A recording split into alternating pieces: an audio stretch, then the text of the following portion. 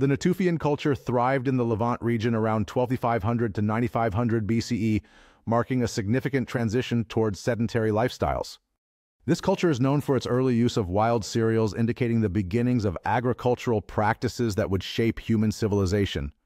The Natufians are recognized for their distinctive semi-sedentary lifestyle, living in permanent or semi-permanent structures compared to the mobile hunter-gatherers before them. Their burial practices reveal complex social structures and beliefs in an afterlife, as evidenced by the presence of grave goods and personal ornaments. The Natufian culture significantly influenced the development of later agricultural societies, paving the way for the Neolithic revolution that followed. Today, ongoing research into Natufian sites continues to provide insights into early human adaptation and the origins of agriculture. The legacy of the Natufians endures in modern understandings of prehistoric human behavior, particularly in relation to the shift from foraging to farming.